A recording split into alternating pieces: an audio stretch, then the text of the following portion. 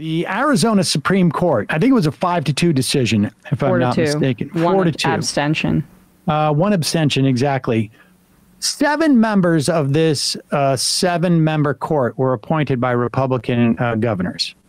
And they have found that a law that is 160 years old, written before Arizona became a state. Now, to be fair, it was recodified in 1912, I think it was, when uh, Arizona joined uh, the Union.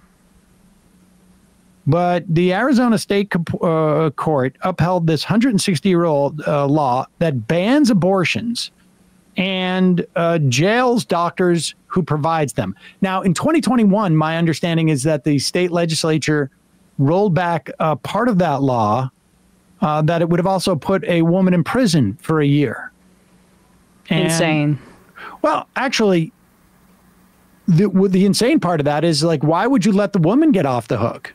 I mean, Right. if you believe that doctors should be jailed for providing an abortion, uh, how would you not implicate uh, the the woman who was seeking an abortion? I mean, even even when it was recodified in 1912, we should say both times this legislation was re-upped or upped, women didn't have the right to vote at this time. That's true. So Yes. these are these uh, these were passed and then reaffirmed before women had suffrage.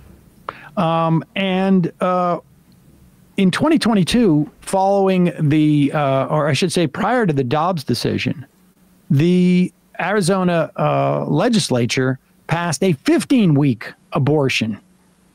And the court read that 15 week abortion as being uh, the 15 week abortion ban being essentially, if you break that, extra bad. So it was like uh, larded on top of the no abortion. Um, so the majority ruled that the law passed by the Arizona legislature in 2022 uh, did not repeal the pre statehood law nor create a right to abortion. Uh, it only basically um, said that additional criminal and regulatory sanctions may apply to abortions performed after 15 weeks gestation. So it basically just uh, presumably was just a way in which people will be more uh, punished for that.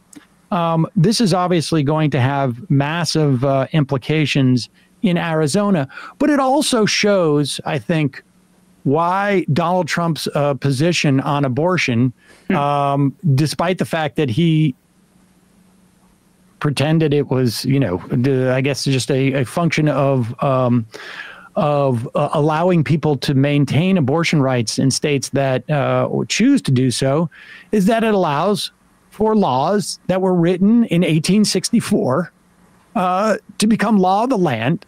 Laws, like you say, Emma, that were written when uh, women didn't even have the right to vote in this country, but they uh, did have the right to be subjected to uh, men saying that you don't have control over your own bodies.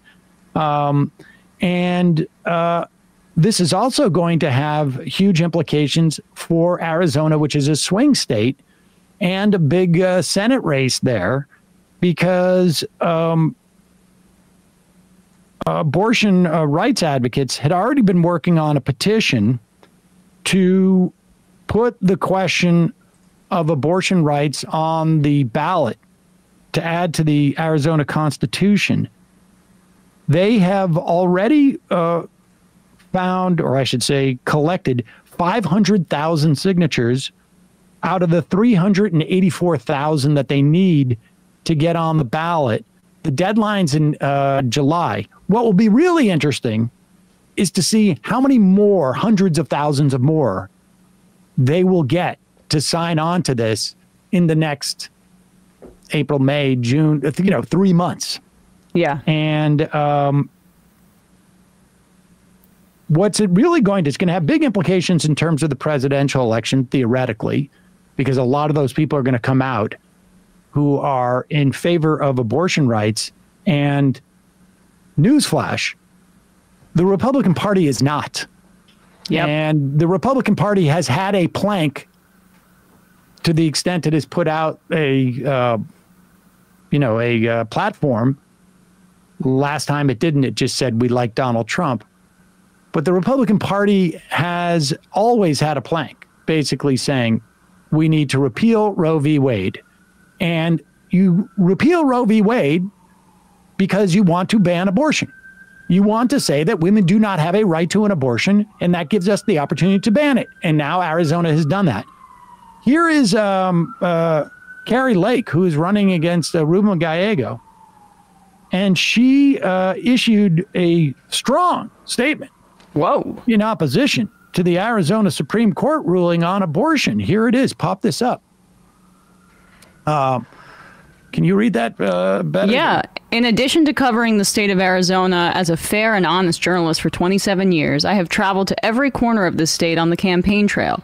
I speak to more Arizonans than anyone, and it is abundantly clear that the pre statehood law is out of step with Arizonans.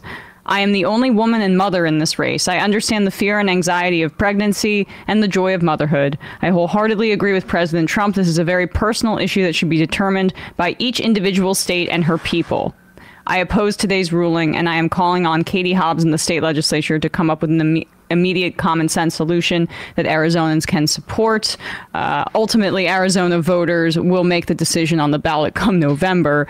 That's very true. I'm sure that she would prefer Katie Hobbs to address this via the state legislature before the election as opposed to it going to the polls because their last poll that was done by the New York Times in October found that 59% of Arizona registered voters um, support abortion either always or mostly compared to 34% who say it should be mostly or always illegal. These are broadly popular rights in the country and in the state of Arizona. Now, what's interesting, uh, there's two things I find interesting about this. One is that Kari Lake has been saying up until very recently that she was, in fact, uh, I think the governor of of right. Arizona. Uh, that uh, somehow Katie Hobbs was uh, just, uh, you know, got in by some Imposter. type of fraud, or, or yes. yeah, she was. Um, maybe the the servers were acid acid washed, and uh, she wasn't really governor. And then the other weird thing is is that now I don't know if people. we've got a lot of young people who watch this program so I'm not sure uh, how many people were uh, who watched this program were alive in 2022 because that was so long ago. Um, but back in 2022, I know I sound like an old man talking about this, but uh, we had uh, things called debates. And um, back in 2022, Kari Lake, when she was just a young pup, um, who had no life experience, as opposed to today in early 2024. um, this is what she had to say in her debate against um, uh, Katie Hobbs. Uh, she's being questioned by PBS Arizona's Ted Simons about this very question. Interesting. Uh, Kari, we'll start with you on this one. Uh, the new law banning abortion, well, the new law banning abortion in Arizona after 15 weeks. There's that law, and there's a territorial era law which bans all abortion. Zippo, over. Mm-hmm. Which law do you think should take effect? My personal belief is that all life matters, all life counts, and all life is precious, and I don't believe in abortion. I think the older law is going to take a, is going to go into effect. That's what I believe will happen. Okay, but and, but you approve of that? Uh, uh, what at, at, conception? I believe life begins at conception. Okay, what do we do about abortion pills? What do we do about? I don't uh, think abortion pills should be legal. That's in, a very not in Arizona. Karrin, what do you think? That's uh, now I got to apologize. I thought that was the uh, Katie Hobbs. This is actually the Republican primary. So to be fair, it was almost three or four months before uh, he, she debated uh, Katie Hobbs. But uh, there it is, folks. I mean, she has done a 180 degree turn from where she was. Was it was it two years ago? A little bit less. Let's let's you know. Uh, Be fair to her and say two years. Yes. Now right. I know that's a long, long time ago. Uh, if you were two years old, you'd be four years old today. Yeah. She uh, she she knows that democracy on this front is not her friend, right? I mean, that's what all of these anti-abortion advocates understand. That's why they spent so much time uh, basically stacking the courts with people in their favor. They the, these are these zombie statutes. I've I've heard abortion advocates refer to them as these ancient statutes that they're being revived. That are being revived because direct democracy is it, it, people are not in favor of this, so they have to go to these old laws like the Comstock Act is the other one that's now endorsed by the Heritage Foundation, an anti-obscenity law on the from the federal level from the 1870s uh, in order to restrict mifepristone and abortion pills from going through the mail. So because they can't actually address the American public and what they want. They have to go to the 1800s before women had the right to vote, before you know, I mean, this That's was a true. Civil War era law. So the, they, the democracy is a threat to this. Yes, but here's the thing. There's a reason why the uh, that law is still on the books, as opposed to the part of the law that said a woman go, goes to jail for a year. There's a reason why that law stays on the books and sends doctors to prison is because the Republican Party has controlled that legislature. Yeah. And does not want to repeal it. And that's why Kari Lake, when she ran for the uh, for for uh, the governor, wins her primary by saying, "I don't care about the 2022 uh, law or t- uh, 20 you know the 2022 law that's just been passed. We got to go back to the original one because I believe that life starts at conception. So, no abortion, no circumstances, never. That's what Kari Lake actually wants. No morning and, after pill, maybe. No morning. At, I mean, listen. Uh, well, that's arguable, right? But I mean, it depends on where they decide conception actually begins. Mm-hmm. I would, I would bet that many of them say conception begins as soon as um, copulation starts. Right. And uh, sometimes it catches, sometimes it doesn't, because then you're starting to get into science. And it's really mm-hmm. just a question of God's will at any point, anyways. But the fact of the matter is, this is the Republican position. And they can say that they have a different position, but there is absolutely no reason to believe that when they were in power, they would not be voting for this. But we will uh, talk more about this as the show progresses.